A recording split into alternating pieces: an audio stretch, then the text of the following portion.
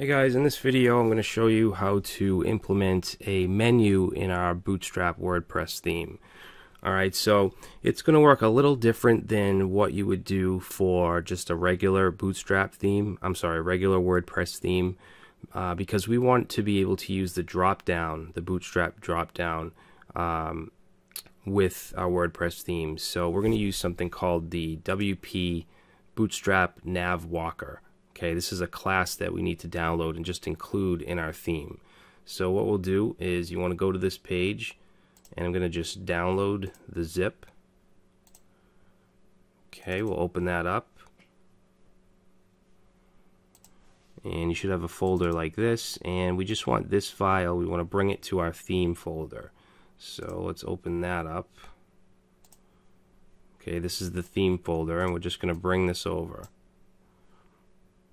Alright, and then what we're going to do is go into our theme folder and create a new file. We're going to call this functions.php. This is a very important file for any WordPress theme because this is where you can put all your dynamic functionality. Okay, so what we're going to do is we first want to require that file that we just put in. Okay, so we're going to say, uh, actually, let's put a comment.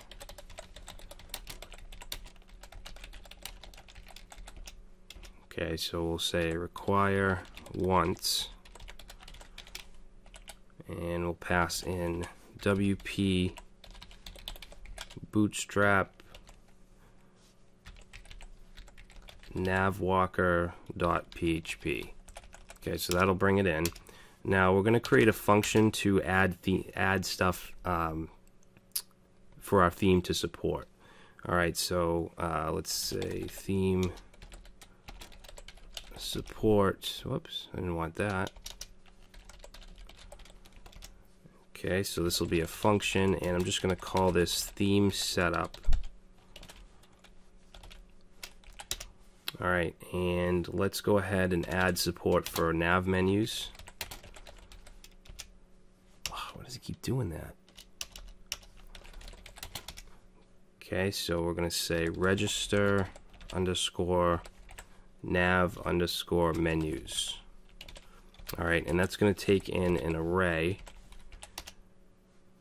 And we're just going to have one menu, and it's going to be in the primary position. All right, and then for the text, it'll just say primary menu. All right, and this double underscore function, this is just a localization function for WordPress. Uh, you want to wrap that around any static text that you use. All right, so that'll that's that. Now, in order for this theme setup function to run, we need to create an add action function. All right, and what this does is we can choose a hook to hook into and run this. All right, and if you look at the documentation, there's a, a ton of different hooks you can use that get fired off at different times. The one that we want is called after setup theme. All right and then the second parameter is just going to be the name of the function we want to run which is theme setup. And we should actually prefix this we'll say um, WP WPB underscore. We'll use that as a prefix. Okay. So we can save that. Now if we look at the github page for the nav walker you'll see this right here, uh, this WP nav menu function. All right, so we want to include some extra stuff here. Okay, normally you wouldn't have stuff like the walker. Um, you would basically just have the theme location, uh, classes, things like that. But we're going to go ahead and copy this. And we want to go to our header file where we have our menu. Now the way this is set up is, is different than a regular WordPress navbar, so it, it's probably going to look a little different in this particular theme. Uh, I didn't really realize that before I started. Um, you can see we don't even have a UL here, and the code that we paste in is going to generate a UL, so it might be a little different, but let's just go ahead and replace everything inside of this nav tag with what we just copied. Okay, and then we're going to save that and go back and reload. And now you can see we have this add a menu because there's no menu assigned to primary. So if we click that it's just going to take us to the back end here. So we want to go to if we reload appearance and then menus.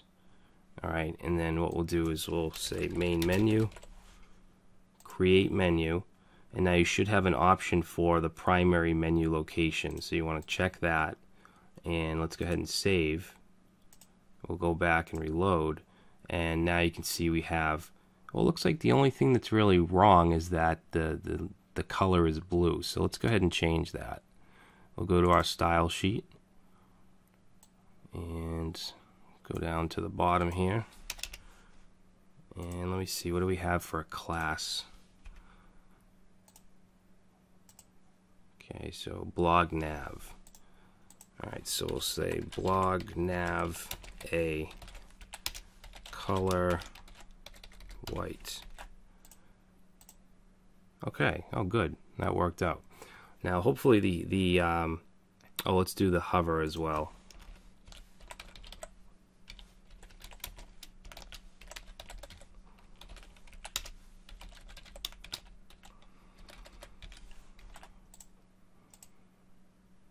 All right. So I just want to check out um, if the drop downs are going to work. Now in our uh, footer.php, we need to we need to correct this because right now it's looking in the word strap root for a JS folder. So we need to just make sure that it looks in the template. So we're going to say blog info template URL slash and then JS. All right, so let's save that. And what we're going to do is create a couple pages. So let's create about.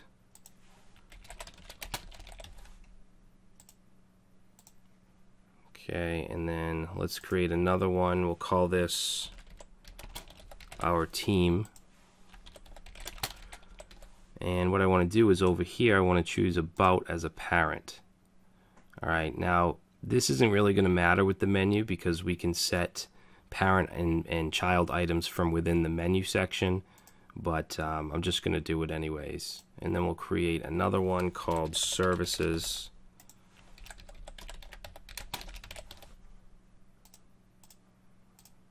And then let's go to menus and we're going to bring over about services and our team and then what I want to do is put services under about like this. Same thing with our team. And then we'll save it. And then let's go back to the front end. And now we have a drop down. Perfect. That worked out good. Now if we go to one of these pages, it's not going to be any different because we this is still all static HTML. Alright, but we know our menu is now working.